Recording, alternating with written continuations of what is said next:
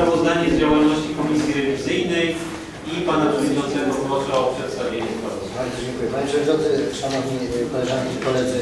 Komisja spotkała się e, 10 kwietnia bieżącego roku o godzinie 19. Mm, Otwarliśmy posiedzenie, e, przyjęliśmy porządek obrad, e, przyjęliśmy protokół z poprzedniego e, posiedzenia, zapoznaliśmy się e, z korespondencją, której tak naprawdę był, była, była jedna, jedna rzecz. Kworum było, byli wszyscy radni. Mm, Żadnych projektów nie przygotowaliśmy, wolnych wniosków było brak i zamknęliśmy posiedzenie o godzinie 19.40. Dziękuję.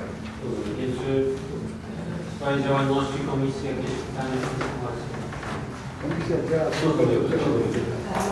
W takim razie przechodzimy do kolejnego punktu,